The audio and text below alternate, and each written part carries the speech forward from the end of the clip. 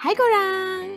Mesti korang semua kenal anak beranak gorgeous, Sandrose dan Manrose ni kan? Mereka ni bukan je terkenal sebab lakonan. Diorang juga terkenal dengan wajah jelita masing-masing. Memang satu keturunan cantik kot. Anyway, Pinky bukanlah nak cerita pasal satu keturunan diorang. Berbalik pada tajuk asal, wajah cantik manis dan ayu Ukasha Sandrose ni rupanya hanya sekadar luaran. Baru-baru ni, Pinky ada tengok video Ukasha Sandrose yang mengamuk bila charger handphone dia hilang. Tapi betul ya, bila cakap pasal charger atau kabel handphone ni, bila hilang ataupun orang pinjam tak bagi tahu, kita semua memang akan naik angin lah kan. Macam Ukasha Sunrose dalam video ni. Sebelum tengok, jangan lupa slowkan volume dulu, okay?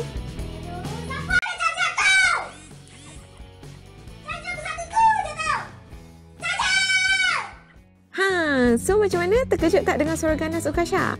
Jarang-jarang kita dapat tengok Ukasha bertukar jadi harimau. Kat ruang komen pun ramai yang boleh relate. Ada juga yang usik Ukasha cakap lepas dengar pun takut. Tapi rata-rata diorang memang terhibur tengok Ukasha menjerit bagai nak rak dek kerana charger yang hilang. Korang pernah tak berada dalam situasi Ukasha ni? Ke korang jenis yang rempak charger orang? Ha, jangan lupa komen, like, share dan juga subscribe, okay? Bye korang!